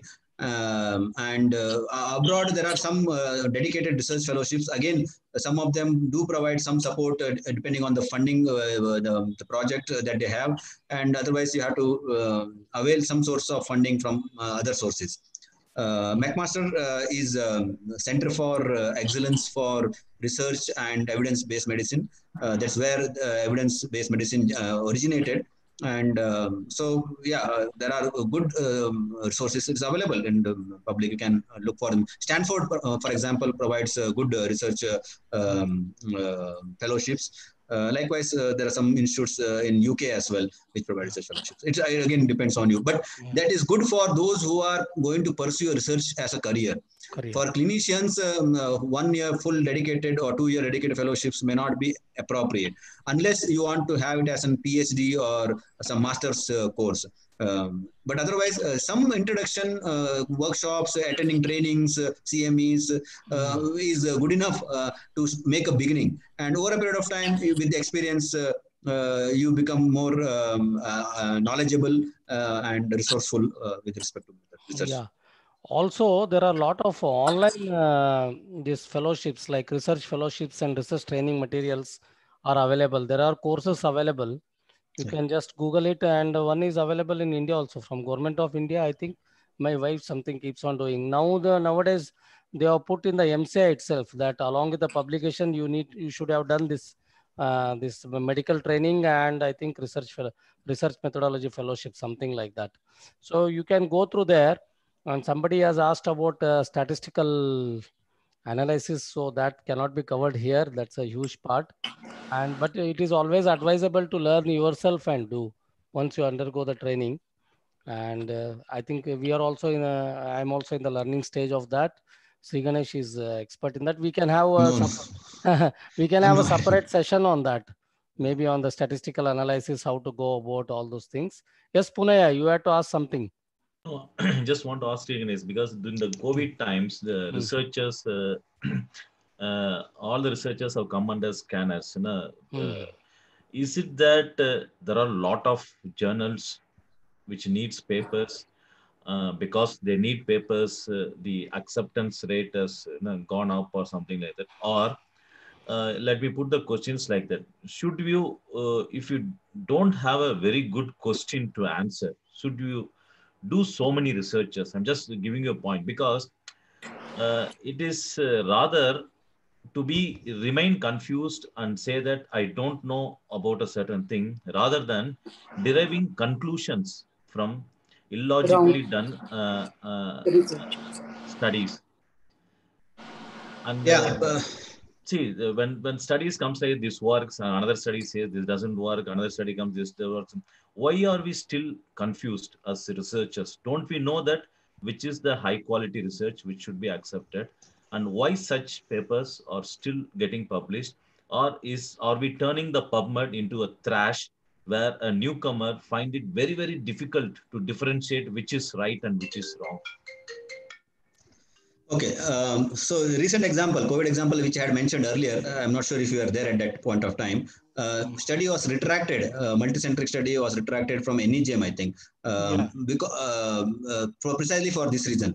What happens in crisis like situation, especially in a pandemic, which is so rapidly uh, spreading, of which very little is known at the beginning of the pandemic, is that there is a lowering of the guard or um, uh, to say that um, the peer review uh, is not so uh, vigilant or strict uh, because they want quick evidence uh, to decide. Hydroxychloroquine, for example. Um, uh, there are contrasting uh, um, findings depending on where the study was conducted, what the population is, whether it is funded. Gilead funded the remdesivir trial. It, um, it has bypassed so many um, processes in the um, conduct of study. Ethics committee approval came quickly. Uh, even in India, if you see how the ICMR had to retract its own statement, the, uh, the researchers, uh, the clinicians were given time to provide results before August 15 so that it can be declared for some other reason. Um, uh, so some of the lowering of the guard happens in pandemic situation, which may be good because you get evidence faster. Uh, but uh, on the flip side, uh, it does not undergo rigorous reviewing process because reviewers also don't know much. So if you say that in COVID, uh, stroke is common because of the COVID rather than in the general population, reviewers do not have a prior experience because it's a new phenomenon. So they also tend to accept these papers in the early stages over a period of time, there are questions asked, the review process is questioned, pa papers have been retracted. Even recently, two months back, a paper was published, it has been retracted from no less than any NEJM, which is considered to be a high quality journal. So uh, this is the um, problem of the times. So uh, mask, similarly, an example was uh, regarding the use of mask, whether it is beneficial, harmful. Mm. Again, uh, the, the, robust evidence is not generated. It is 50 pa patients study, 100 patient study from China, Wuhan, uh, it gets accepted because uh, it is the first one to go off the block. It is the first one to publish. So when we don't know anything, some information is considered to be better than no information. But that may not always be true. We may, in fact, harm the patient more. There was um, uh, there were some um, studies which uh, showed that early ventilation beneficial. Some contradicted it, saying that uh, ventilation has to be uh, as a last resort and non-invasive options should be considered, which may improve outcome. So we are not clear on this because we don't know the subject good enough. Uh, this is my view. I mean, others can uh, chip in. My point is the same thing. When we are not clear about certain thing, why should it get published? To create more confusion? Um, no, you are not clear. You are uncertainty. Not, we may not be clear, Punaya, but the researcher who has conducted the research may feel that he is clear on that regard. So yes, respond to he thinks he can publish it and the journal. so there will be some collateral damage like this, what has happened. This is how, if you see, yeah, yeah. If you see the background, sir, this is how the innovation starts, sir. If you remember yeah. the uh, uh, the DNA model that was published, some uh, landmark study which was published, and then all the genetics start. Uh, probably that paper was, uh, to my knowledge, was rejected. It was small letter to editor, mm. published in one corner of the book, but that became a landmark paper. So we do not know actually what is uh, going to be the uh, subsequent thing. And these papers are actually called as uh, hypothesis generator papers because uh, somebody has to start a paper. Somebody has to know the sample size. So we usually put them in a hypothesis generator paper on an exploratory studies wherein they just put up a data that the 100 patients of COVID, 60 has fever, this has this fever, this has this. So from this, some researcher will pick up uh, some clue out of it, and then they will do a subsequent high quality study. This is how a new uh, ideas come up. Now here comes the responsibility of two persons here. Mm. One, the professional societies. And that's why I think in India, most of the professional societies, even in ISNACC and other, are doing a good work that they are collecting those data, even ICMR also, they are collecting the data and those, those teams should be well versed with uh, no interpreting and what we called as critical appraisal of a published paper, which I think Dr. Punaya will do a next webinar, how to critically appraise a published paper. That is equally essential for everybody of us. We have a paper, whether it is applicable to me or not, we need to critically appraise it, even if I am a clinician. So if somebody can critically appraise whatever the COVID-19 has published in various things, and I, uh, when I read it, I think that majority of paper will not be applicable to the Indian population because of so many reasons. People say it was because of BCG vaccination, because of high immunity, because of so many other reasons also. So that critical appraisal of paper by each clinician is important. So that's why the research is research. Basic understanding is for everybody, not for researchers. This is one concept. Second thing is the professional body should have a team of uh, good uh, clinicians and researchers who can interpret both the aspects and then they can put up advisories for the novice uh, uh, members of that society so that they can follow them. So this is, I think, a responsibility of uh, uh, the professional societies to come forward, professional bodies to come forward and give an advisory to the members of the association. I think most of you are doing it also. Yeah. Thank you, Rakesh, for that uh, yeah. explanation. Yeah. yeah, that's what. Uh, thank you. Thank you very much, Rakesh. Huh? One minute. Is there the problem of Zoom? yeah, this uh, people. Uh, that is what uh, the ethics has to be for individual. Everybody has to be, even in the research, that holds true. That uh, everybody has to think in his own ethical way and do it. Yeah, thank you, thank you, Sri Ganesh. Thank you, Dr. Thank Rakesh. You Thank you, Punaya, Dam- Amna Thank you. Madam, Das sir, and everyone who joined us on the Sunday. We thought we'll do it in one, one hour, 15 minutes. We went on for two hours. That's a good thing. And uh, th- thank you, Dr. Sri Ganesh. I'm sure that it will generate a lot of interest among the younger individuals and give a lot of insight into the people who are already writing the papers to write in a better way and get it accepted in more and more reputed journals. So thank you once again, everyone. And uh, Thank you. next next week we'll come up with some new topic again and meet you again. Thank you and have a Thank good you. Sunday. Thanks Thank a you. lot. Thank you, everyone. Thank you. Bye. We close the session Yeah. and the people can leave so that we can just uh, do the feedback session for ourselves. Thank you. I'll just uh, stop the YouTube. Uh, Yeah, please. uh, Sri can you make me the host again? He No, I. I, I have to make you. Yeah, Acha, you are the host now. huh? Okay. yeah. Yes. Okay. Just stop it.